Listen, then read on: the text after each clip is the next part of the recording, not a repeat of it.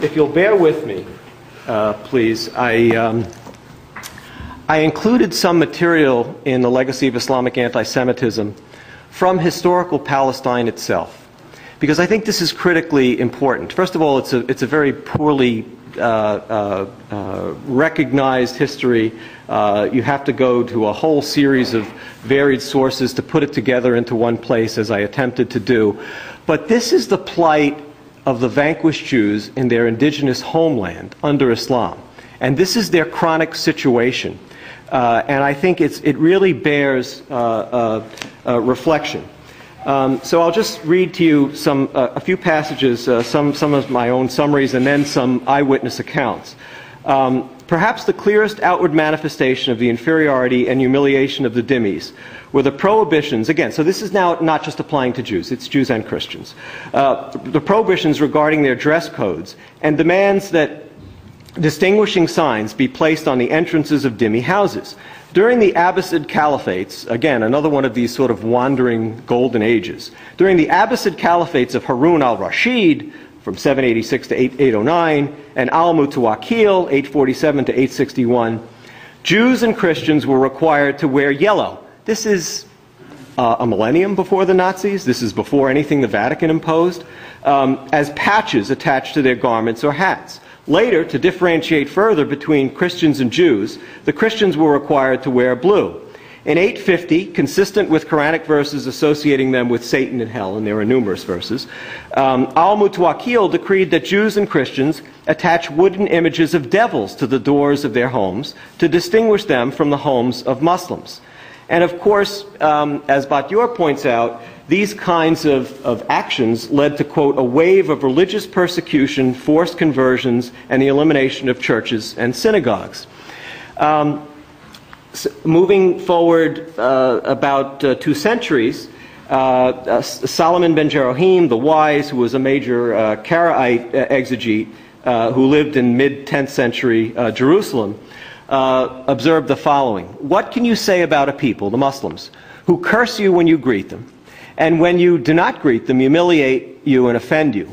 When you talk to them, they want you to differ with them so that you be, you, you be considered a sinner. I have learned that the Jews of Samarkand, now he's talking about outside of Palestine, in the region where they say God is one, people who hear it testify, testify, that by saying so, they have become Muslims. Therefore, if they want to remain Jews, they can only resort to saying there are a thousand gods, or ten, or less, or more. Then the Muslims say, You are indeed infidels, and will let them hold their religion. The calamities inflicted upon the Jews under Islam are countless. Moving ahead to uh, Isaac ben Samuel of Acre, who lived from 1270 to 1350. And he was one of the outstanding uh, Kabbalists of, of his time. Uh, and interestingly, he concluded, despite the persecutions under Christendom, that it was preferable for him to live under Christendom uh, in this period. And so he actually fled uh, after being imprisoned when Acre was, was taken from the Crusaders by the, by the Mamluks. Um, and here's what he says they, the Muslims, strike upon the head of the children of Israel who dwell in their lands, and they thus extort money from them by force. For they say in their tongue, Mal al Yahudi Muba, it is lawful to take money of the Jews. For in the eyes of the Muslims, the children of Israel are as open to abuse as an unprotected field. In their law and statutes, they rule that the testimony of a Muslim, now this is not just for Jews, this is for dhimmis in general, uh, is always to be believed against that of a Jew. For this reason, our rabbis of blessed memory have said, rather beneath the yoke of Edom, of Christendom, than that of Ishmael. So now we're, that, we're into the late, the end of the, the, the 13th century. Um, then I wanted to read to you, uh, moving ahead to 1700. This is, this is from a fascinating chronicle by uh, Gedalia of Shibiatsi, a, a Polish Jew who traveled to Jerusalem and wrote something called Pray for the Peace of Jerusalem. Uh, and he, he wrote this to try and garner uh, money for, for, the, for the Jews who were suffering at this time. And please bear with me, it's an extended uh, but very poignant extract. And this is now, we're now almost a thousand years after the first extract that I read to you, uh, across the continuum, across different Muslim empires, different Muslim rulers. But, but listen to what he says. We Jews were obliged to give a large sum of money to the Muslim authorities in Jerusalem in order to be allowed to build a new synagogue. Although the old synagogue was small and we only wanted to enlarge it very slightly, it was forbidden under Islamic law to modify the least part. In addition to the expenses and bribes destined to win the favor of the Muslims, each male was obliged to pay an annual poll tax of two pieces of gold to the Sultan. The rich man was not obliged to give more, but the poor man could not give less. Every year, generally during the festival of the Passover, and, uh, and generally during the festival, uh, an official from Constantinople would arrive in Jerusalem. He who did not have the means to pay the tax was thrown into prison, and the Jewish community was obliged to redeem him. So, collective punishment.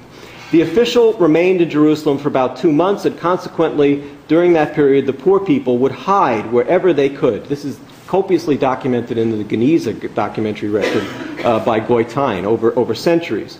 But if ever they were caught, they would be redeemed by community funds. The official sent his soldiers throughout the streets to control the papers of the passersby.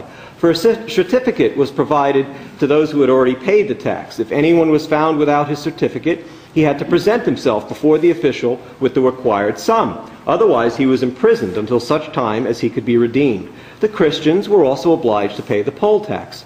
During the week, the, the, the, paupers dared not show themselves outside. In their wickedness, the Muslim soldiers would go to the synagogues, waiting by the doors, requesting the certificate of payment from the congregants who emerged. No Jew or Christian is allowed to ride a horse, but a donkey is permitted, for in the eyes of Muslims, Christians and Jews are inferior beings. The Muslims do not allow any member of another faith, unless he converts to their religion, entry to the Temple Mount area, for they claim that no other religion is sufficiently pure to enter this holy spot. 1700. They never weary of claiming that although God had originally chosen the people of Israel, he had since abandoned them on account of their iniquities in order to choose the Muslims. So clear supersessionism. In the land of Israel, no member of any other religion besides Islam may wear the color green, even if it is a thread of cotton like that which we decorate our prayer shawls. If a Muslim perceives it, that could bring trouble. Similarly, it is not permitted to wear green, a green or white turban. On the Sabbath, however, we wear white turbans on the crown of which we place a piece of cloth of another, of another color as a distinguishing mark. The Christians are not allowed to wear a turban, but they wear a hat instead, as is customary in Poland. Moreover, the Muslim law requires that each religious denomination wear its specific garment so that each people may be distinguished from another. This distinction also applies to footwear. Indeed, the Jews wear shoes of a dark blue color, whereas Christians wear red shoes. No one can use green, for this color is worn solely by Muslims. The latter are very hostile towards Jews and inflict upon them vexations in the streets of the city. The common folk persecute the Jews, for we are forbidden to defend ourselves against the Turks or the Arabs. This is the period of Ottoman rule. Um, if an Arab strikes a Jew, he, the Jew, must appease him, but dare not rebuke him, for fear that he may be struck even harder, which they, the Arabs, do without the slightest scruple. This is the way the Oriental Jews, remember, this is a Polish Jew writing this, uh, react, for they are accustomed to this treatment. Whereas the European Jews, who are not yet accustomed to suffer being assaulted by the Arabs, insult them in return. Even the Christians are subjected to these vexations. If a Jew offends a Muslim, the latter strikes him a brutal blow with his shoe in order to demean him, without anyone's being able to prevent him from doing it. The Christians fall victim to the same treatment, and they suffer as much as the Jews, except that the former are very rich by reason of the subsidies that they receive from abroad. And they use this money to bribe the Arabs. As for the Jews, they do not possess much money with which to oil the palms of the Muslims, and consequently, they are subject to much greater suffering. Now, to be fair, the Ottoman Empire, under tremendous pressure uh, and, and defeat uh, by the European powers, was forced to engage in what the Ottomans considered to be quote unquote capitulations. But essentially, these were what turned out to be half hearted and, regardless, unsuccessful attempts to reform some of these brutally discriminating aspects of the Sharia, the so called Tanzimat reforms. Um, the first round was iterated around 1839. There were later rounds, none of which were, were successful. Um, I'm going to read you another extract. This is from 1847, again in Palestine, by the Jewish travelogue writer uh, J.J. Binyamin II. Deep misery, again, this is after the Tanzimat reforms were, were at least attempted. Deep misery and continual oppression are the right words to describe the condition of the children of Israel in the land of their fathers. They are entirely destitute of every legal protection and every means of safety. Instead of security afforded by law, which is unknown in these countries, they are completely under the orders of the sheikhs and pashas, men whose character and feelings inspire but little confidence from the beginning. It is only the European consuls who frequently take care of the oppressed and afford them some protection. With unheard of rapacity, tax upon tax is leveled on them, and with the exception of Jerusalem, the taxes demanded are arbitrary. Whole communities have been, been impoverished by the exorbitant claims of the sheikhs, who, under the most trifling pretenses and without being subject to any control, oppress the Jews with fresh burdens. In the strict sense of the word, the Jews are not even masters of their own property. They do not even venture to complain when they are robbed and plundered. Their lives are taken into as little consideration as their property, their lives. They are exposed to the caprice of anyone, even the smallest pretext, even a harmless discussion, a word dropped in conversation, is enough to cause bloody reprisals.